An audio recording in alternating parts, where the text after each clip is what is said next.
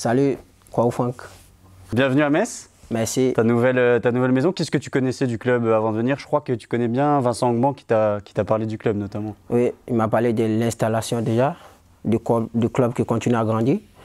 Et je pense, comme il l'a dit, pour moi, après six années passées au Portugal, c'était le moment de faire ce saut. Et, ouais, il m'a parlé des supporters de la ville, du projet. Il a aussi échangé avec le directeur sportif de Rossi et avec d'autres joueurs comme Habib, avec Fali Kandé déjà. Ils m'ont tous bien, euh, bien, du club. Ouais, comme je l'ai dit, je suis content d'être là. Comment tu suivais euh, la Ligue 1 au Portugal? Tu regardais régulièrement le, championnat? Ouais, tous les jours. Je pense que tous les week-ends? Après, si je suis pas sur le terrain, ouais.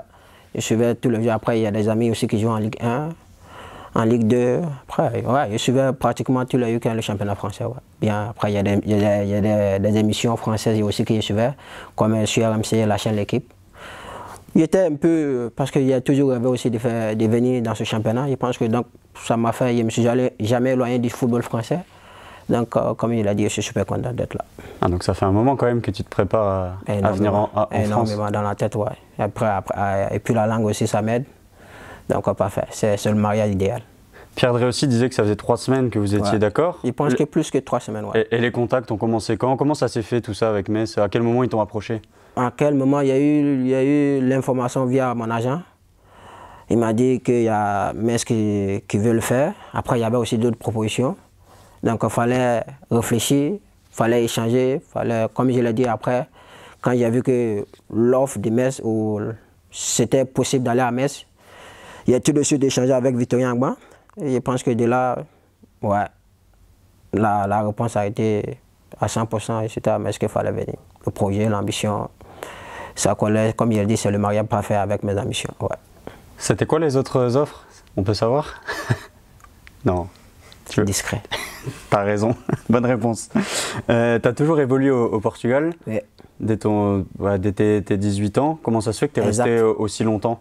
6 ans au Portugal? Ouais, je pense qu'après, il a fait, quand je suis arrivé de là, parce qu'il a fait un, an de championnat avec euh, un club élite, parce qu'il a été formé à la SEC d'Abidjan, la SEC Mimosa. Après, il a fait six mois dans le championnat français avec. Il a été prêté, dans le championnat euh, ivoirien, il a été prêté six mois. Après, en 2000, euh, combien, 2016, le 12 septembre 2016, il a atterri à Vizela. Après, il fait trois mois chez les jeunes. Et au bout de trois mois, l'équipe était en D2. Je suis monté avec l'équipe première. Au poids d'arrière-gauche, j'ai fait six mois arrière-gauche. Après, je pense qu'il fallait me préparer. Je pense qu'il ne fallait pas brûler les étapes, comme il a dit à la conférence de presse. Ça a pris du temps, oui, mais je pense qu'il fallait prendre ce temps-là pour mieux être aguerri, pour mieux être préparé à l'étape suivante. Je pense que pour moi, ça a été euh, comme le combat à faire, ça a été la préparation qu'il fallait faire, mentalement, physiquement, apprendre. Parce que fallait apprendre beaucoup de choses tactiquement. Je pense que c'était mon plus gros point. Et je pense que sur ça aussi, il a beaucoup progressé. Et je pense que tout ce trajet, tout ce projet m'a permis d'acquérir l'expérience aussi, parce qu'il n'y a que 24 ans, mais je pense que aussi pas mal d'expérience. Je pense que aussi, comme il a dit, avec l'ambition, euh, le projet de Metz, c'est le palier à franchir pour moi et je pense que cela aussi va m'aider à continuer à progresser.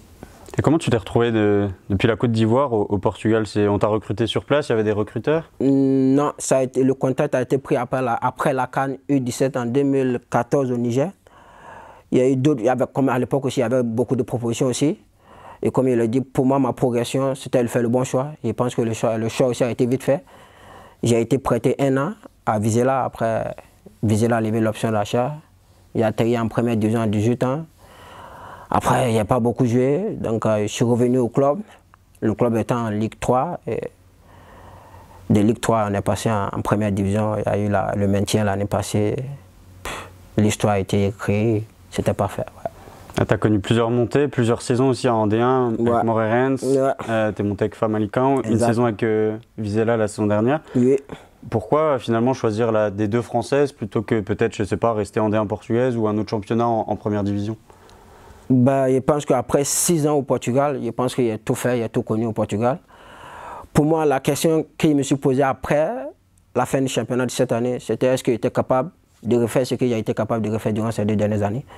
Et je pense que c'était non. Il avait pas, je ne dirais pas pas de motivation, mais je pense que l'ambition que je voulais, c'était différent de ce que s'il restait au club, j'allais avoir. Déjà au niveau mentalement, je pense qu'il n'était pas préparé à rester au club. Fallait faire ce saut. Et après, pourquoi la Ligue de française? Je pense que comme il l'a dit, pour moi c'est un nouveau championnat, c'est un nouveau pays. Et je pense que le projet de Metz, c'est le bon projet pour moi, comme dit, de continuer à progresser, de continuer à faire mon histoire, ma carrière. Et je pense que ma carrière, comme le le tout début, je, l'ai toujours préparée. Étape par étape, je n'ai jamais brûlé les étapes. Peu importe le temps que ça prendra, je pense que c'est le bon projet pour moi, de continuer à avancer, de continuer à, progresser. C'est ça le plus important. C'est ça, je ne pouvais pas prendre le choix ou le risque d'être dans une, dans une équipe où je pense que j'aurais pas le temps de jeu espéré pour ne pas freiner ma progression. Après, comme il a dit, il y avait, il y avait d'autres propositions, il y avait Rennes, il y avait Lille, il y avait Vedé de Bois, mais il y avait plus même que ça qu'il préfère tel nom. Après, est-ce que c'est le choix qu'il voulait? Est-ce que cela m'aurait donné le temps de jeu espéré Je ne sais pas. On ne connaît jamais le futur, on ne connaît jamais l'avenir, mais je suis à Metz, c'est sûr. Tu as quand même déjà une certaine expérience, 84 matchs euh, en pro euh, au Portugal. Avec Vizela, déjà, je pense que c'est plus que ça. Et euh, une, une, saison donc en D1, des matchs contre les gros, tu as, marqué notamment contre Braga. En, en, quoi le Portugal finalement t'a fait progresser en tant que joueur? Je pense que déjà il y a eu un coach formidable, le nom de Alvaro Pacheco. Ces trois dernières années, il m'a beaucoup aidé à progresser, il m'a aidé sur ce, m'a beaucoup tapé sur les points qu'il fallait progresser. Après, qu'est-ce qu'il qu y a appris? Déjà Mature dans le jeu. Il sait, il quoi faire mentalement. Je suis préparé euh, physiquement, tactiquement, parce que comme il a dit, c'était un peu mon plus gros point à progresser. Et je pense que sur ça, il a beaucoup franchi, beaucoup de paliers. Surtout cette année en première division, parce que je joue avec des équipes où chaque erreur pouvait faire but. Au poste que j'occupais, il fallait être vigilant, il fallait mieux défendre, fallait, fallait apprendre d'autres choses autour des grands joueurs. Après, le championnat portugais, comme il a dit, c'est un peu différent de la France. Mais quand tu joues contre des grosses équipes telles que Porto, Benfica, Sporting, un peu Braga aussi, chaque, chaque peut donner but. Donc je pense que mentalement, la constatation, tactiquement, même techniquement, après, suis devenu aussi un autre homme. Je suis différent de, de Kofil il y a deux ans ou trois ans. Je suis plus mature, je suis plus tranquille il sait ce que j'ai à faire sur un terrain.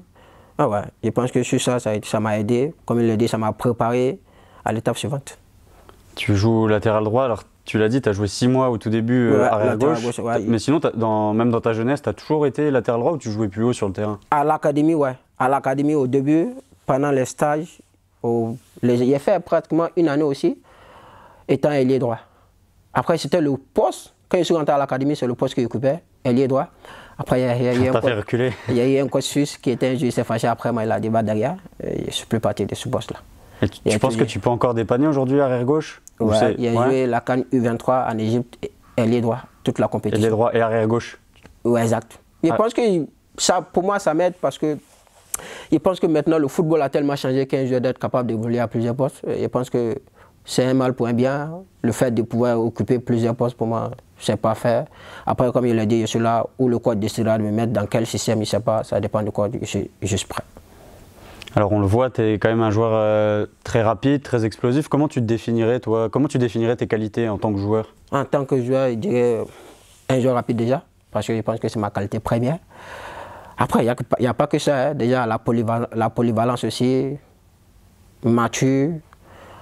Après, plusieurs personnes me demandent si tu, préfères jouer dans un système à 3, franchement, il n'a jamais évolué dans ce poste. Il a toujours évolué dans un système à 4. Après, je pas, ça dépend du club. Mais il me définit, comme, il me, définit toujours comme un latéral moderne. Après, un latéral moderne, ça ne veut pas franchement dire tu es plus offensif que euh, défensif. Non, pour moi, un latéral moderne, c'est le football de maintenant. Le football maintenant demande attaquer et défendre. C'est plus comme les années où le latéral, c'était pratiquement un défenseur. C'était là, non, le football a évolué beaucoup. Je pense que ça m'a aussi permis d'évoluer dans mon jeu. Il peut évoluer, évoluer à plusieurs postes. Ouais, quand on me demande, il préfère, il, préfère prendre ce, mot, ce thème, parce que ça définit tout, le latéral moderne. Après, chacun l'entend de sa manière, mais pour moi, le latéral moderne, ouais, c'est pas seulement un jeu offensif, non, c'est un jeu aussi défensif, mais c'est un jeu qui est capable de faire plusieurs choses sur un terrain. Tu as connu euh, plusieurs montées, on l'a dit, avec yeah. Famalicão, Vizela aussi. Est-ce que tu penses qu'on t'a aussi choisi pour ça? Parce que là, tu, vas, tu repars de, en Ligue 2, il y a une montée à aller chercher. Est-ce que tu penses que ça, est-ce que tu penses aussi toi-même que tu as cette expérience au fond de toi, le fait de vivre une saison où on joue les premiers rôles pour monter?